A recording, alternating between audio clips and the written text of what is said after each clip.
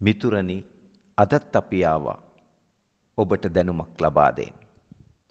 අද අපි කියලා දෙන්න යන්නේ ඔබ තුල නායකත්ව ලක්ෂණයක් තියෙනවද නැද්ද කියලා දැනගන්න පුළුවන් කරුණු පහක් ගැන කියලා දෙන්න. ඔබ කැමති නම් අන්තිම වෙනකම් වීඩියෝ එක බලයි කියලා අපි විශ්වාස කරනවා. මෙන්න කරුණු පහ ගැන අපි බලමු. පළවෙනි එක තමයි මතකද පළවෙනි වීඩියෝ එක අපි සාකච්ඡා කරා වයි කියන ප්‍රශ්නේ. වයි. ඒ වයි කියන ප්‍රශ්නෙට විසඳුම හරියට හොයාගන්න පුළුවන් නම් ඇයි මම මේ වැඩේ කරන්නේ? මම යමක් කාර්යයක් කරනකොට මං ඇයි කරන්නේ කියනක හොඳින් වටහා ගන්න පුළුවන් නම් ඒක එක්තරා ජයග්‍රහණයක්. පාසල් වියේදී අපි ඉගෙන ගත්ත මතකද? විභාග ලිව්වා. කිසිම ඉලක්කයක් නැතුව ගිය අවස්ථා මතක ඇති. දක්ෂේ කලින්ම වයි කියන ප්‍රශ්නෙට පිළිතුරු සොයා ගන්නවා. මං ඇයි ඉගෙන ගන්නේ? මං අනාගතයේදී හොඳ කන්සල්ටන්ට් කෙනෙක් වෙනවා. මම හොඳ කන්සල්ටන්ට් කෙනෙක් වෙනවා කියන අදිෂ්ඨානය ඇත්තුව තමයි ගමන යන්නේ. ඒ එක්තරා විශේෂ ලක්ෂණයක් නේ. එහෙනම් පළවෙනි ලක්ෂණය ඔබ තුල තියෙනවද කියන සිතන්න. දෙවෙනි කරුණ ගැන බලමුනේ. දෙවෙනි කරුණ තමයි sannivedana කුසලතා ඇති පුද්ගලයෙක් වෙන්න ඕන.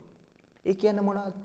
මං යටතේ ඉන්න කණ්ඩායමට මං යම් දැනුමක් හරි තොරතුරක් ලබා දෙන විට ඒ කණ්ඩායම හරි ආසාවෙන් මගේ දැනුම සහ කරුණු ටික ඉතා ඉක්මනින් ලබා ගන්න පුළුවන් වෙන්න ඕන.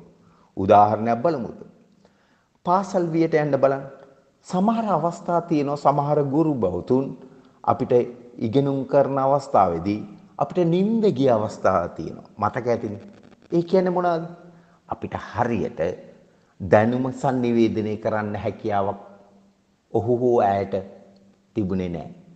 ඒ වගේ කෙනෙකු නොවෙන්න ඕන. අපි දක්ෂ sannivedakෙක් බවට පත්විය යුතුයි.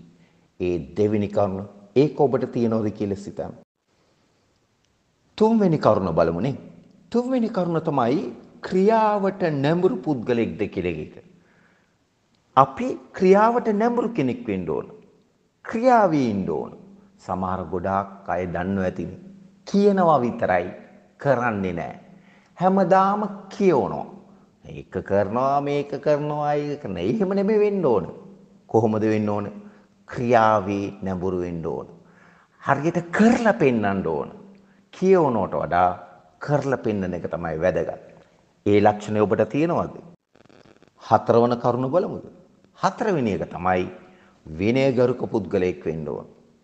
විනයගරුක පුද්ගලයෙක් කියන්නේ මොනවද? මට කියලා විනයක් තියෙන්න ඕන. මට විනය තිබ්බොත් මං යටතේ ඉන්න මගේ කණ්ඩායමටත් විනයක් හැදෙනවා. අපිට හිතන හිතන වෙලාවට හිතන හිතන දේ නෙමෙයි කරන්න ඕන. යම් විනය නුකූලව යම් කාර්යයක් කිරීමෙන් අපි අපිවම පාලනය කිරීමේ හැකියාව ලැබෙනවා. එය ඔබට තියෙනවද?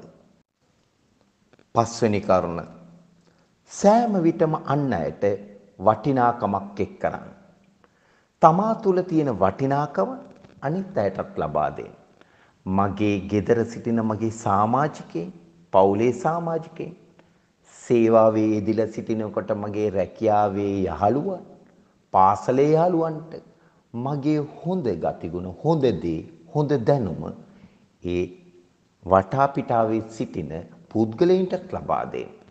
මේ කරුණු පහ ඔබ තුල තිබෙනවා නම් ඔබට සිතීමට යමක් ඇත.